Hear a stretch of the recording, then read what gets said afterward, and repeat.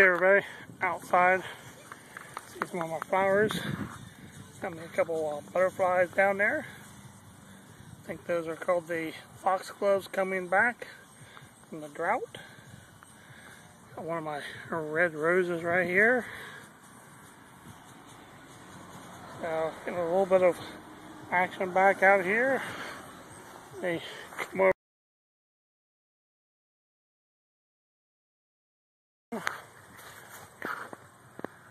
back a little bit.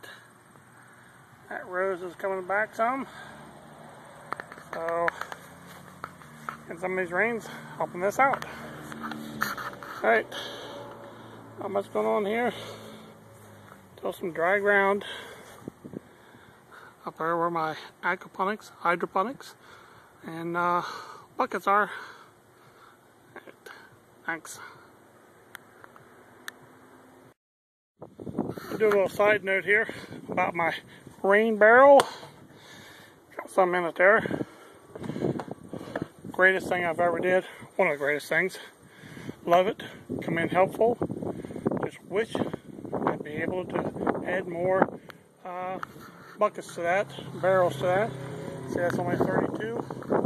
I I have 132. All right, thanks.